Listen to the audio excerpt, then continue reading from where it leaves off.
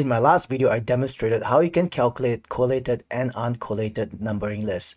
If you're just joining in, collated is a block of numbers like this, goes from 1 to 5, 1 to 5, 1 to 5, and uncollated is the repeating of the same set of numbers like this.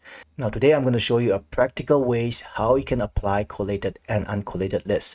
Now we got this table here, we want to convert that into a conventional table like this. The way to do it, first thing I'll do is to convert this particular table into a two column like that and it'll give me a series of column in hours.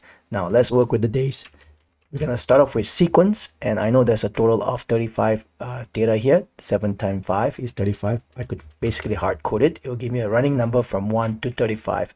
But if you want to make it more dynamic, you can call this rows and basically say this to increase dynamically because it's an array and you will produce the same result but your table is more dynamic we want to start with number 0 instead of 1. So what we have to do is we're going to say that sequence one column starting with 0. And then it will give you a number starting from 0 all the way to 34.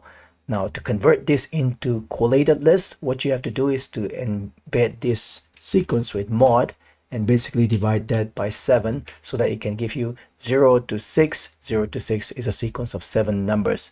Now if you want to start this by 1, just plus 1 like we demonstrated in my previous video.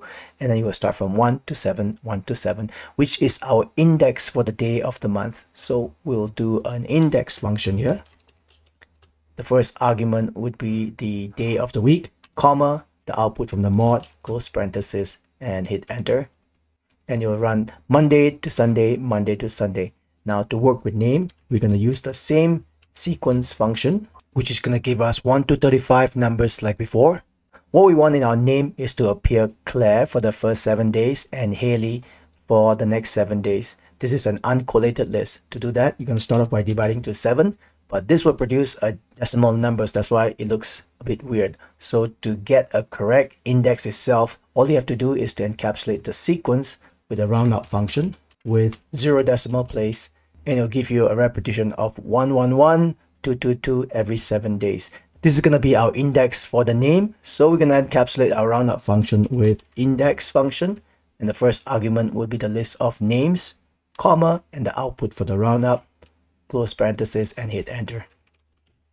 And there you go. This is one of the example when you can use collated and uncollated listing. Just one disclaimer, this can also be done using Power Query, but I'm going with the notion that not everybody knows Power Query. Before I go, here's a quick pop quiz. If I were to delete either rows or columns, our table get messed up. How would you fix this? Share your answers and suggestions in the comments below.